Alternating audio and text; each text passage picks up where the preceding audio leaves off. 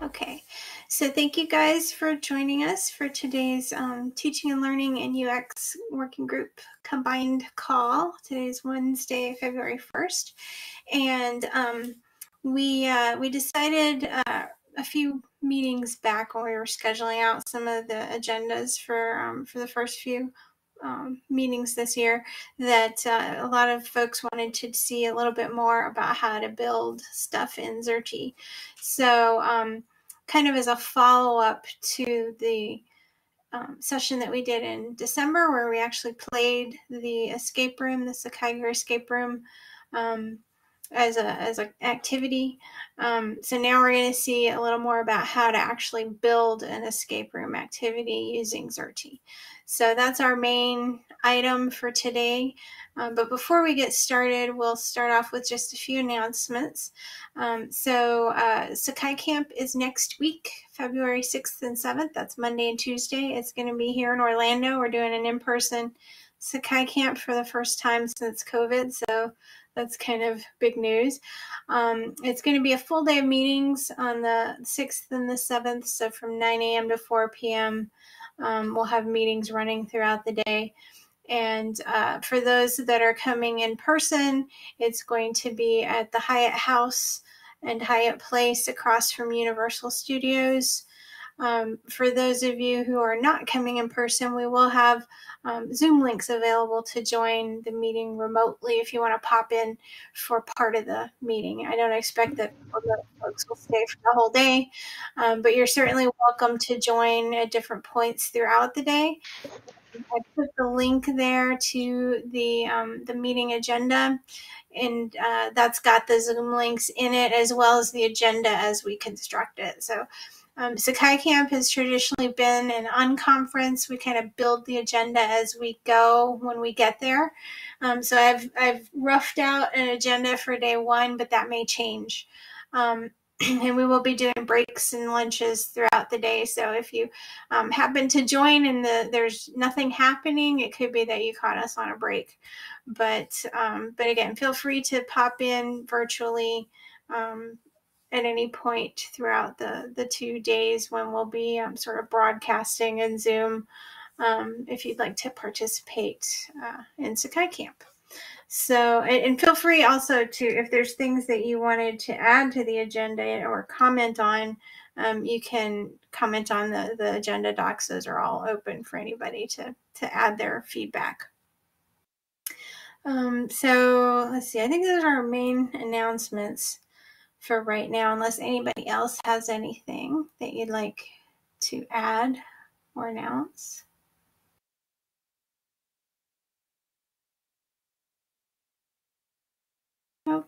Okay. So we will go on with sort of the main event then um, for the escape room building basics. So we're not going to have time to build an entire escape room. Um, it, an hour is just simply nowhere near uh, enough time. But we can get started and I can show you guys a few basic kind of strategies to building it um, the way I put it together for the, the one that I built for the virtual conference. So um, what I have done is I made a few demo accounts for people if you didn't already have an account on our Xerte instance. I know some of you probably do. You may have, have one from the workshop um, that's still there if, if you remember what it is, or maybe your institution is looking into a pilot, in which case you probably got an updated password um, recently. So if you already have an account, you can log in with your existing Xerte account to follow along um, as we go. Or if you need an account, let me know in the chat. I created a few demo ones for today for people who want to just kind of follow along and maybe don't already have an existing account. Uh, but this is the address that you'll want to go to to log in. It's um, xerte.longsight.com slash Xerte Online Toolkits. So uh, you can click on that link in the Etherpad, and I'm already logged in, so it didn't prompt me um, to log in. I was logged in in another window, but um, so uh, does anybody need logins? Or do you guys all have existing accounts that you know how to get into? Or are you just planning to watch? Because you can do that too.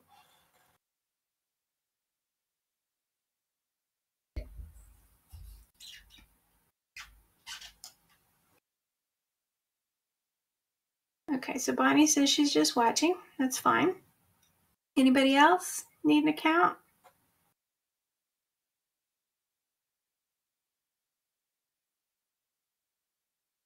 Wilma, if it's not an inconvenience, I had to go off call for a moment, but if you're setting up accounts at uh, the hosted Longsight Xerte instance, I'd love one.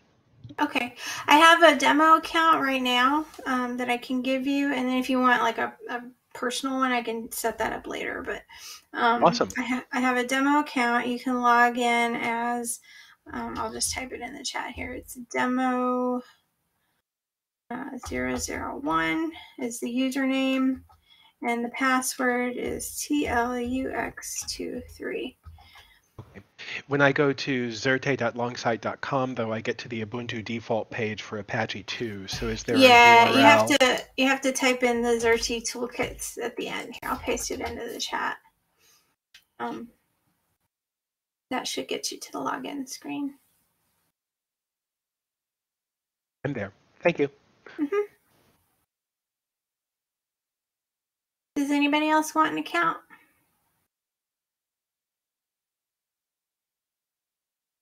Okay. So, um, so I'm just going to kind of walk through my process and we'll do a little bit of brainstorming as well because I don't have all of this built out. I just have sort of a few ideas and we'll kind of flesh them out as we go, but I can give you some tips as we move along. So the first thing you want to do in Xerte once you're logged in is create, um, you know, a, a, project. So in this case, um, I have one that I already created. We'll, we'll just, we'll start from scratch. So we're all kind of starting at the same spot. So um, I'm putting mine in an existing folder. If you don't have any folders, you can just drop it in under workspace. Doesn't really matter um, where you put it in the hierarchy of your directory of, of projects. But, um, but you want to go over here to project templates and choose the first one, which is the Xerte Online Toolkit template. That's the one that has the most variety of, of different page types that has the, the types of pages that we're going to be using to create our activity. So I'm going to hit the create button and I'm going to call this um, TLUX escape room that's what we're doing today. I, if this was an actual escape room, I would probably come up with something a little bit better. but um, but for now, this is what we have. So once we have this open, um, it or created, it's going to open up in a separate tab, and then we can give it a title. So I'm going to give it the same title, but you could call it something else if you had an idea of what your escape room was going to be about. Um, you could give it a different title. I'm just going to call it that for right now. So we're here at the project level. So these settings are going to apply to all the pages in the project. They're kind of like the defaults for this particular project. Um, so if I have a particular theme that I want to use, like a color scheme, basically I can choose one of these themes down here to apply. Um, and you can preview what, what it looks like um, down here in the thumbnail. So you can kind of browse and see if there's one that you like. Um, it's going to show you a few different kind of style sheets that are in there. I think I'm going to stick with the urban blue. Um, so, uh, so that's the, my theme. And if I wanted to change my default text size or something like that, I, I could. Um, You've got a whole bunch of other properties. These are all optional. We don't really need to mess with these right now. Um, but if you're curious what something does, most of these have a little info um, icon next to them. If you mouse over it, it kind of explains what that thing does. So um, what it does is it adds more for, more fields to the form that you can turn on or off or modify. Um, but for right now, we don't really need to worry about the optional properties at the project level. Um, so then I'm going to add my first page And what I did for the Sakaiger escape room is I had kind of a, a, title page that had a little bit of a splash screen on it with a background image and then the title of the escape room. Um, so I'm going to do something similar here. So I'm going to add a page to my project. And this is a text page because that's where the, the, title pages are. Um, and I'm going to choose title page here. And if I had multiple pages, it would matter where I put it. But since I this is the first page in here, it doesn't really matter. It's just going to drop it in to the um, the outline view here. So this is my title page, and I'm going to call it welcome. And I'm going to enter um, a title. Well, actually, what do we want to call our room escape? The. I'm not feeling terribly creative. All right, so this is what I have so far. Apologies for my dogs barking in the background. Um, if I want to preview it so far, if I hit this play button, it's going to show me what I've got. So it's going to show me my title page essentially. And so this is all I have so far. Um, but this is this is my title page. Now, if I wanted to add a background image to this, um, I could upload some sort of image to put in the background. Let me, um, I'm to find some, some sort of image here. Uh, there's a truck backing up down on the street. It's making that beep beep backup sound. My dogs hate that. um, let's see what would be a good background image. All right, I don't have a great background image for this theme, but I'm just going to pick any old picture. So I have a picture in here that of a solar eclipse, so I uploaded that. Um, obviously, you'd want to have something that was more in keeping with the, the theme of your escape room. But um, for this example, I just put an image that I happen to have. It was one of my desktop wallpapers, I think. So again, I can preview it by hitting play and it'll show me what it looks like. And so it put that image kind of a, a you know, um, somewhat um, lightened version of it uh, in the background behind the text. So, um, and you can choose the level of opa- opacity if you want it to be even lighter. Maybe your text isn't showing up very well. You wanted it to um, be even more lightened. Um, you can change that, or you can make it darker if you wanted it to to be more saturated. So you can choose what you want there for the um, opacity, and you can also make it grayscale if you wanted everything like black and white. Um, you could do that. So uh, I don't like the black and white, but it's an option for this one anyway.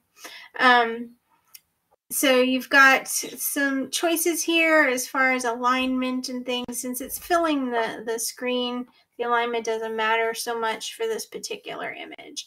Um, but you can also choose if you want it to stretch or crop depending on it. It, it. This is a pretty large image, so it's it stretches nicely. But sometimes if it's the dimensions of the image are such that it looks better just cropping it versus stretching it.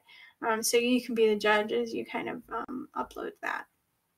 So the next thing that I did on the um, Sakaiger escape room is I added this introduction property. What this does is it adds a, a, a um, a light box that opens up the first time you view the page that gives you additional instructions and then um, you can have it automatically open when somebody hits the page for the first time. So that was what I did with just sort of some reminders and tips um, in my escape room. Now, again, you don't have to do it this way. You could simply just go right into the activity. Um, what I've found with this type of activity is it helps to give people a little bit of um, context on what to expect. So um, that's what I did in this introduction section. So once I click on it over here in the properties, it drops it in as um, some additional form fields. And this is my text area where um, I can put some additional instructions. So I'm going to put this is an escape room activity. You have 60 minutes to find all of the clues and solve the puzzles. All right, so you might have more instruction than that. I did for the Sakai escape room. I had kind of more guidelines, but you get the idea. So you can set the stage a little bit. Um, and you can choose if you want to include the title and a start button or not. You can turn these on or off by selecting those check boxes.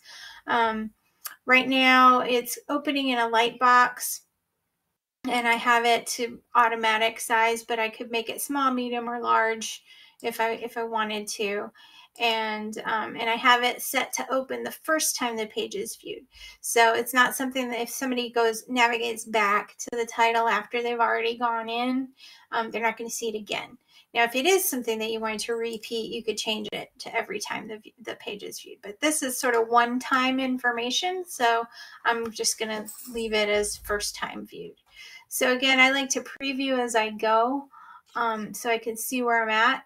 And then I, I, so I hit play again and it shows me what I've got so far. So this is the light box that came up with the instructions here. And then I hit start, it takes me to the title page. Um, so I like what I've got so far. I'm going to hit publish, and that's kind of like save. So anytime you publish, it means you're saving your project. So I, I recommend publishing frequently um, because with Xerte, because things tend to open up in multiple tabs, sometimes you get a lot of tabs going and you kind of forget where you are. And if you switch into a different browser tab, you may get lost. so I try to close browser tabs out as much as possible when I'm done previewing and then um, publish every time I think about it so I don't lose any changes that way. Um, all right, so now um, I'm gonna, I'll pause here to see if anybody has any questions so far. I don't want to just kind of keep on rolling. Does anybody have any questions?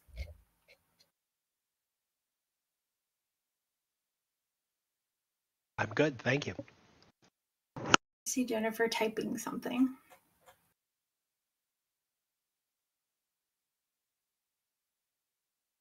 Jennifer says, when I added my image, it doesn't show except in the item. Um, do you mean it's not showing as a background image? Okay. Did you add it up here using the rich text editor maybe? Like within the, the title area? Is that where you put it?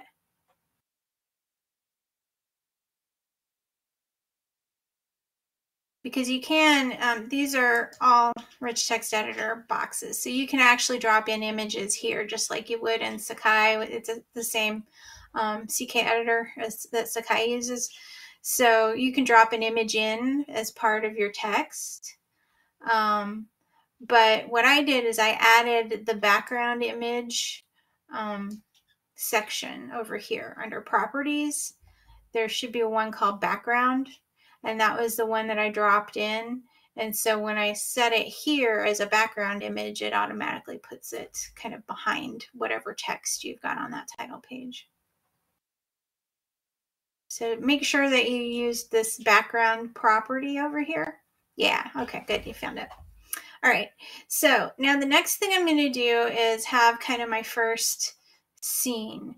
Um, so for this uh, particular example, I found a few free um, photos and I'll, I'll, paste the links in here for you guys if you want to go grab them as well use the same ones or you could use your own images if you happen to have any.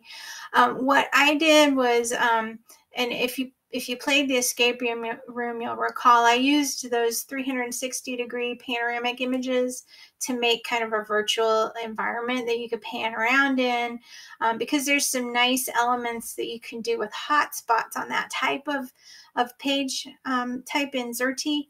Um, that are different from some of the hot spots you can do on just a static image. So I like the 360 images for this type of activity because it's a little more immersive. Um, you feel a little more like you're in the environment, and it's it kind of leads the the user to explore a little bit more because they're interacting with the, view of the image.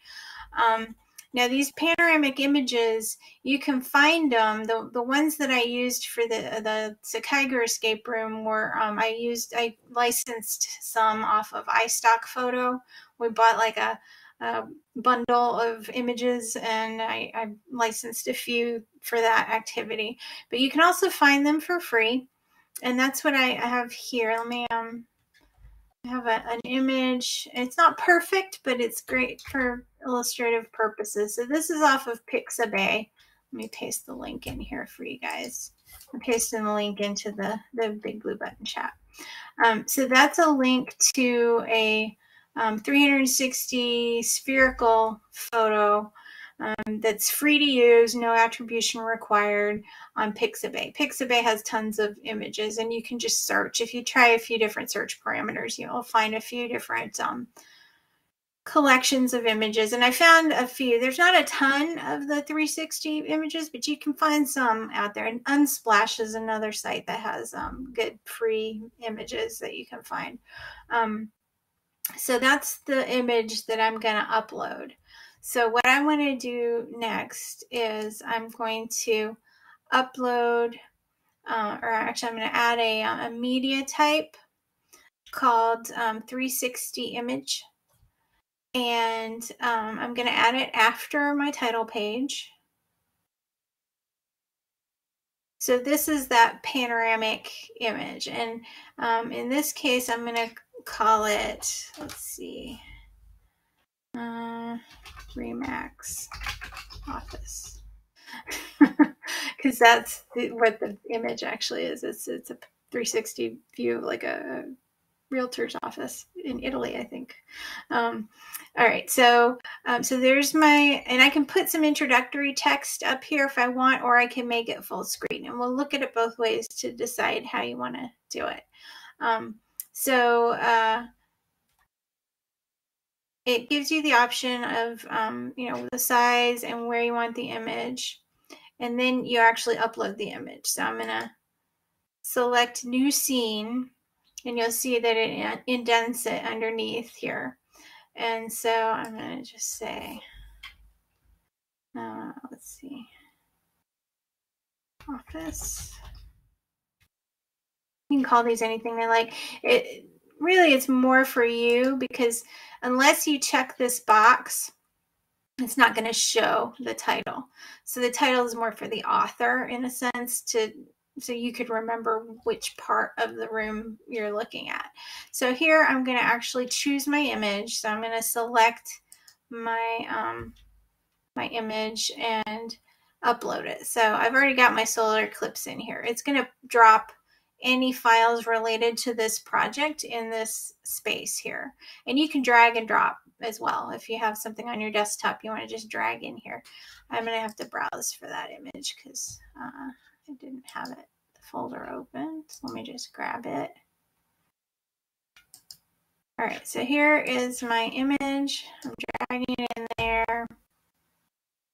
And I'm going to double click to select it. Okay, so it drops it in here, and then I enter a description for accessibility. This is kind of like your alt text. So um, I'm going to put 360 photo of Remax office. Okay, so let's preview our object so far. Now, anytime you hit play, it's going to take you all the way back to the beginning um, and you kind of navigate through. So I go back to the beginning, I see my little pop-up message. Okay, that's good. So then I can hit next to actually start the activity. And this is what it currently looks like.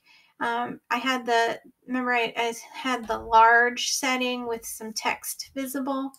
And so this area is the part where you can actually kind of move it around and, and navigate around the, the environment. And you can zoom in on stuff um, and you can zoom out. and you can kind of pan up and down. As I said, it's not a perfect image. It looks a little messy here, but you could probably touch that up in like Photoshop or something.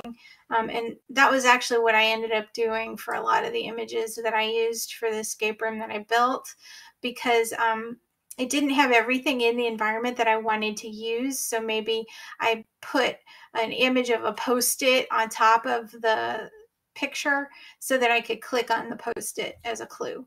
Um, so you can use things that are in the, the photo already. Like I could, if I wanted to use this, you know, fire extinguisher, for example, I could just make that a hotspot. But if I wanted something that's not already here, like maybe I want, um, I don't know, a, a purse that's sitting here on one of the chairs that somebody has to open up to see what's inside the purse as, as part of the, the clue. Um, you would have to kind of edit the photo to add that item if you wanted to be able to use it. So sometimes unless you stage the photo really specifically, you might have to do some photo editing to you know, add what features you need for the various clues. So anyway, so this is what it looks like here. Now the reason I left it on this setting as opposed to full screen is we haven't really set the stage. Um, I could have done that in a prior page. I could have added another text page before I got to this scene here, um, kind of explaining what the story is. Because with an escape room, you have to kind of set the premise. So in this case, I need to let people know, hey, um, you know, you're a uh, receptionist at the Remax office, and um, you show up for work and um, there's nobody there or something. You, you kind of set the premise for the mystery that they're supposed to solve. So if you wanted to do that as a sidebar here, you could you could set that up on the the page here. So enter the text for the page. So um, you arrive for work. There is no one there. Where could they be? All right, so again, you have to use your creativity here to, to, to kind of set the stage for um, what sort of escape room you're doing. Um, so for the, the activity we did for the Sakaiger one, I set it up as a, a zombie apocalypse kind of thing where Sakaiger had been turned into a zombie and you had to find a cure, right? So I set that up early in the activity, I had a page with an email from Dr. Sakaiger that explained, you know, what had happened with the zombie outbreak and stuff. It kind of got got the people started. So, um, so that's something you want to think about before you start actually building it, because you're gonna, as Jennifer said, might you want to map it out um, ahead of time. So if you kind of outline the story, if you sort of storyboard what you plan to do as far as building the room it's really helpful because it, it, that way you can then plug in the pieces as you go and if you need to find an artifact for a particular scene like you need a scene of a classroom or you know you want a scene of a um, you know, janitor's closet. I don't know, whatever places or or elements that you might need um, to tell your story um, you can kind of plug those in later. So if you can map out the overall storyline, that's super helpful ahead of time. Um, okay, I do see a few questions over here in the chat. Let's see. Christina wants to know, is that media folder just for the project? Yes, it's just for this one project. So if I have another project and I go to upload a file, I'm going to see an empty um, you know, resource area because it's a per project sort of space. Um, and let's see if there's any other questions. Okay, that's it for right now. So, um, so now that I have uh, this particular intro in here, now let's just preview it um, as a full screen if, if you want to see what that looks like instead. So if I change it to full um, and hit play, then you'll see that um, the 360 image takes up the whole screen. So I don't have any room for any explanatory text. So if I wanted to use the full screen because it's a little more immersive, and if you enlarge the window, it kind of enlarges the, the view. Um, just remember that if you wanted to do that, you need to have a page that kind of lets people know what's happening, you know, at least gets them into the story prior to getting to this page. So you could do that on just a text page. Um, if I wanted to add a page here, you could add a plain text that explains, you know, whatever it is you want to explain before they get into the activity. You could do that as your title page. You could do that right after the title page. Um, or like I did here, you could just have it as a, a sidebar on the, um, the image itself. So, um, so now that I have my first scene, I can choose the initial view um, by selecting this property here, and then it will let you click to say, you know, kind of where it drops people when they first enter. So um, this that was the default spot that people land. But if you want people to drop in facing this way, um, you could select this as your introductory view. And you can even select like the zoom level as well. So if you want it all the way zoomed out and sort of pointing back this way, you could check that as your intro view. So that's where when people hit the page for the first time, that's where the camera will be. Um, so another trick that you can do, because I, I, like I said, I like to preview a lot, so I know kind of where I am as I move along. Um, if you hit play, it takes you back to the beginning. If you hold down the shift key and hit play, it's going to preview from the page that you're currently on. So as you get as you build more pages and your object gets longer, sometimes it's a real pain to navigate through from the beginning. So it can be really super helpful to have that um, shift play trick up your sleeve so that you can just jump to the spot that you're interested in previewing. All right, so now um, I want to add some hotspots on my image. And uh, so I'm going to add a new hotspot and enter the title. So this is something in my environment that I am going to designate as either a clue or something that I want people to look at, something that I'm going to give them more information about um, when they click on. So I'm going to call this message board because I noticed there was a message board in there that I can use. And um, you can click on this icon here to change the icon if you want the icon to be something else. The info is kind of the default. Um, you also have options to lock the hotspot if it's something where people need to do something before they can actually open the hotspot. Um, that comes in really handy. Um, for this one, I'm not going to make it um, locked. First, I need to edit where I want the the lock. I'm sorry, the hotspot to be. So here's the message board. So if I select the message board, it puts the little info on there, and that's where I want it to be. So I'm going to hit OK. So now it's kind of saved there, and um, I'm going to choose to move to a page when people hit that spot. So it lets me select another page in my project when people click on that hotspot. So in this case, what I want to do is um, have a message that comes up like it's reading what's on the, the message board. So I need another page. Um, I could do this as an image, but I'm going to do it as a text page. So I'm going to make a plain text page and I'm going to call it message board text. And again, these titles are mostly for me because I want people to navigate through the actual activity.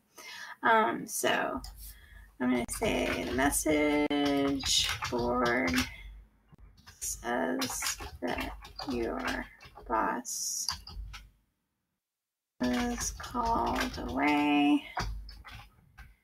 She wants you to show the listing today to a big client. Okay, but it's kind of vague because you don't know which client, you don't know which listing, so you're still a little bit in the dark. Um, so this is going to be um, the, the board message that comes up when when I click. Now I want this to um, to happen from here, so I'm going to move to page message board text when I uh, click on that hotspot. And another thing that you want to do if you have things that are sort of popping up out of an image, um, if you don't want people to be able to navigate to that page just by hitting next, next, next, which is usually the case in something like this because it's kind of non-linear. You're, you're navigating through different clues, so they might not click on that first. Um, you want to make it a standalone page. So my message board text, I'm going to make that standalone page and you'll see it, it changes the icon here so that what that does is it takes it out of the navigation. Um, so for example, here I have I have next and it takes me to the first page. If I hadn't made that other one a standalone, I would have another next here that would just take me to the message without me having to find where that hotspot is. Um, so now I see the hotspot and I see message board. That's the tooltip that comes up. And when I click on it, it comes up here. And this is my message. Um, and it, it's still got the title. I don't I don't like the title at the top, so I'm gonna go back in and um, let's see, standalone hide header. Yeah, so I want to hide the heading on that light box. And remember that you have the rich text editor in here. So any of these text pages like that, you can add images, you can add uh, video, you can embed stuff. Um, so it doesn't have to just be plain text. It just lets you, gives you basically a blank um, drawing board for any kind of, you know, HTML text. And if you know a little bit of um, HTML, you can always go into the source to tweak things if you need to. Um, so I'm going to make this text a little bit bigger. There's a there's some different styles in here. I'm going to make it big there. Um, and I could put a, an image in here if I wanted to, but um, I don't have the image ready, so I'm just going to leave it. All right, so let me publish to kind of save where I am for now. And, um, and so then I go back to my office and I probably want a new hotspot. So um, let's make a new hotspot. And let's say, uh, I think that's a telephone. Does that look like a telephone to you guys? Kind of a weird looking telephone. All right. So I'm going to make that a hotspot. But in this case, I am going to lock it. And I want to unlock after um, either viewing a scene or entering a password. So this is where this is one of the reasons why I like the 360 image because it makes you it gives you this option to lock the hotspots. Other types of hotspots don't give you this specific option, um, which I think is kind of nice um, when you have that option for, the, for an escape room in particular. So for example, I'm going to say enter a password here. And then I'm going to uh, give it a password. Let's see. Um, 020123 is the password. And let's see, enter the voicemail. Password is the prompt. And so let's go ahead and shift play to see what that looks like. So if I click on the phone, it, it wants the voicemail password. So I don't know what that is yet. I need to find it somewhere here um, to uh, to figure out what that is. So I'm going to enter um, another hotspot. And this time I'm going to, let's see, maybe up here, let's say that, that the voicemail password is listed there. Or maybe I have it like in a planner or something, but, but for now, we'll just say that the, the password is up there. So um, for this one, I'm going to do um, move to page, or actually, no, we'll just do text. Yeah, so it's gonna, just going to show some text.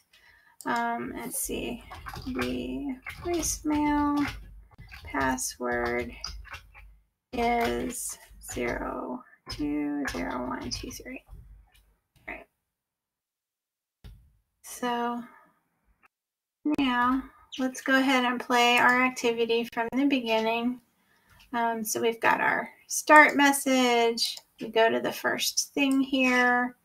Um, maybe you click here and it says, okay, she wants you to do that. And you click there and you think, oh, I, I don't know what the password is. So you look around a little more and hey, okay, there's the password 020123. So I can go back here now and enter 010223. All right, was it 02? Yeah, 020123. I don't know my own password. All right, and then submit. So now it's unlocked. You see that the lock changed. And now if I click on it, it'll take me wherever it is that uh, that I might want to go.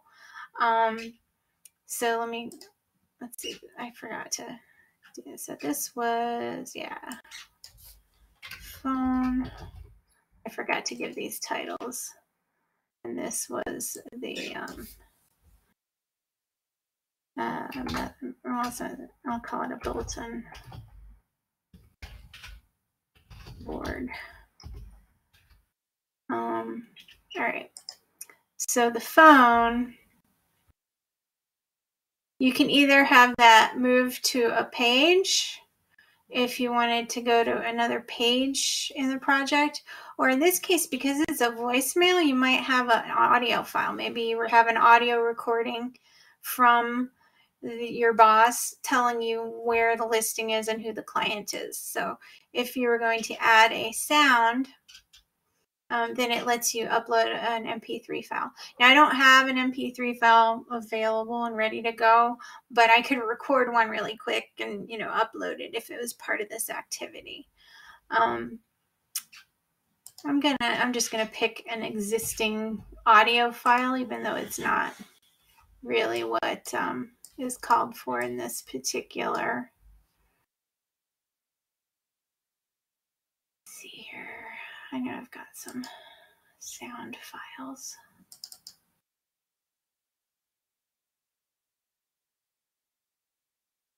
I think I have sound files. Let me see. I've got some sound somewhere.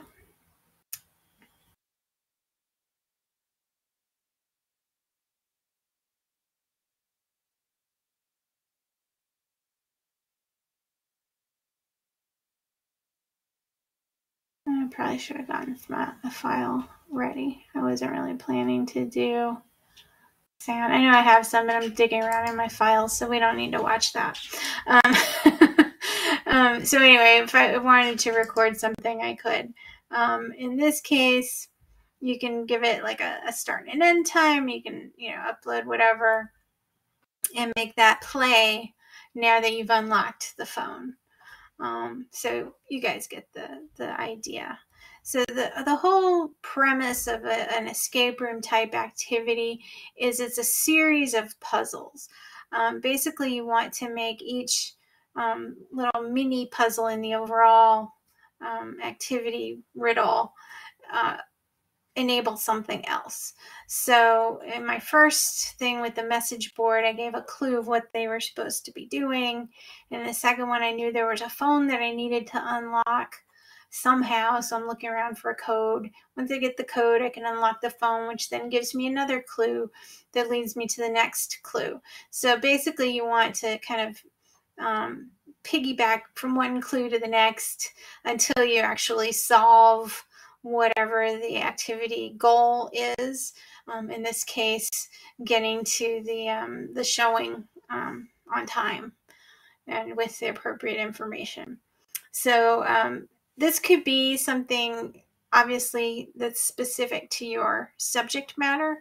So you don't have to be limited to just images and um, you know text on a page, but you can also have activities um, as pages in your project. So, for example, if you had an activity, um, let's see here, quiz.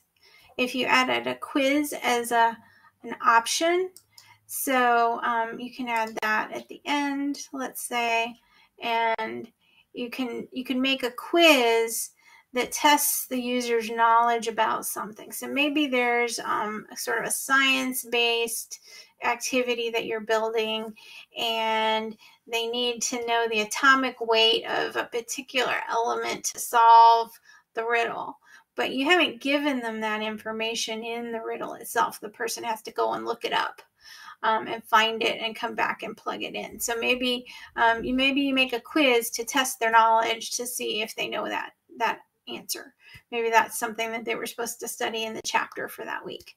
Um, or maybe they need to know a particular formula. Um, if it's say a physics course or um, you know some kind of um, other information if it's a literature course maybe they need to know to be able to identify you know the the play and the author the, the act or the scene um, so you can make quiz items unlocking requirements for pieces of your activity. Um, you can also have other hotspots. So, in addition to the 360 degree hotspot, there's also this. Um, uh, let's see, it's under connectors actually. The hotspot image connector. I'm going to go ahead and add one of these so you can see what it looks like. So, this lets you just choose an image. So, let me upload um, just a, a, regular, not a 360 image, but just a regular um, static image. Here, I've got one of a classroom. These are, they don't give you the lock option like they do in the other type of file. But they're easier to come by because sometimes with 360 images are hard to find. You can actually make them with your phone if you're handy with your phone. There's a on most phones now there's um, a panoramic setting where you can actually like stand in a circle and and take a 360 image so that's an option too i tried it um, I, I was only successful in capturing half the room so i didn't i got like a 180 degree picture, not a 360, but um, but it is possible. And they also have cameras now. Um, so uh, yeah, you can you can do that. Oh, I see a couple of um, questions. Oh, Adam had to drop off. Okay, sorry. Um, Jennifer, anyone using Xerte? If so, do faculty build these objects or you do have IDs do it? Um, it's a little bit of both. It depends on the um, level of expertise that the faculty member has. If they're kind of one of your, um, you know, pioneers that like to get their hands dirty and try things out, they might want to play with it themselves. Um, but what we have found in most um, universities where it's kind of been rolled out in a big way is the faculty partner with an instructional designer to create the activity and then the ID creates it for them um, or with them, and using them as a subject matter expert, and then hands it off once they're done. So the nice thing about Xerte is that once something is built, it's very easy for a user to go in and tweak it. So, for example, if I wanted to go in here later and change out a photo or or change the message board text or something i can tweak that really easy without having to know all the intricacies of building the object um, so you can hand it off to a faculty member to kind of maintain their content once it's constructed um, a lot easier So we found that that's been a successful model for a lot of folks.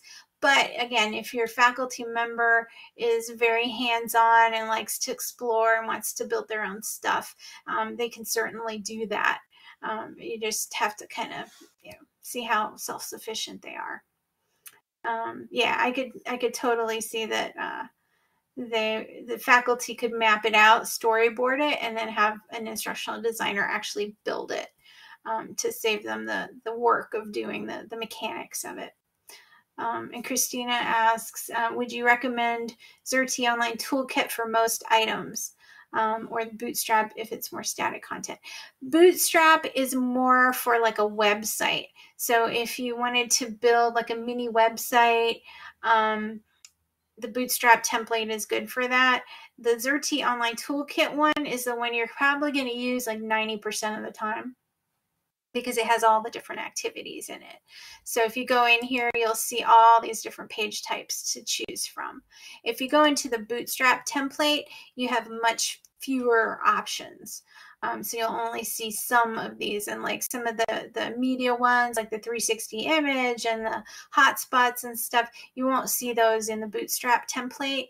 Um, now in Bootstrap, you have the option to include a page from another project. So you can do kind of like an include page, but really that's kind of a pain most of the time. it's easier to just build it as part of your core project using the, the toolkit template. So that's the one that I use um, most of the time, unless I have a really specific need for a more um, traditional kind of website look. Um, let's see, Christina says she has faculty who's creating OER content for courses. Um, yeah, Bootstrap is simpler if it's something like if they're doing maybe a, like a module um, that they don't need a lot of interactivity. They're just sort of presenting content. Um, then that would that would work. Let me let me show you. I'll open up a Bootstrap template. Um, new Bootstrap. Okay, so we'll create one of these. So you'll see here that those are the options you get. You don't get all the different options that you do in the toolkit. So you have basically um, kind of your theme and your navigation. You can put in things like a navigation bar and have a position for it and stuff. Um, you can still have your your different CSS, but it's it's made more like a website. So you have kind of a menu and you have some pages, but you don't have a lot of interactive elements. Um, so this would work really well for um, for like a, a, lesson on something that you want to reuse a lot, but you're not necessarily going to have a lot of interacting with, um, you know, activities as part of the lesson. Maybe you have the content presentation in, in one object and then a second object where students are actually doing something with that knowledge. Um, but but yeah, it is much simpler, um, but it's more like a, a website builder. All right, well, we are just about out of time. So, um, do you guys have any other questions before we wrap up? I know we just scratched the surface on this, um, but you can kind of see the overall idea with escape rooms is that you build them um, sort of piecemeal um, and then you can link to all the different things. The main things to remember are, you know, storyboarding ahead of time is great because that's going to keep you organized um, and you can get all the different media that you need to make it kind of work. Um, the other thing to remember is that you want to use um, those standalone pages so that people can't just hit next, next, next and solve it that way without actually working for it. And then um, just, you know, use your creativity, build a story. You want to use a narrative here to kind of engage the learner. Um, and that's that's the best way to build these kinds of things is to make it a story. So, um, any other questions? Did you record this, Wilma? Yes, I did. I was just able to come. I've been with a client. yeah, we'll have the recording available afterward. I'll, I'll send out a note when I've got it uploaded to YouTube. Yeah. Did you all talk about Xerte the entire time? Yes. Uh, That's okay. There'll be other opportunities. We had this was a by request kind of thing, so. Yeah. Yeah. um, I, I'm sorry. I hate it that I missed it. Well, you can catch up on the recording, and I'm happy to answer questions. So. All right. Thank you. Um, so hopefully this was helpful for you guys. Um, this was how to, you know, some of the the tips for building it in Xerte, but some of the principles are still the same no matter what tool you're using.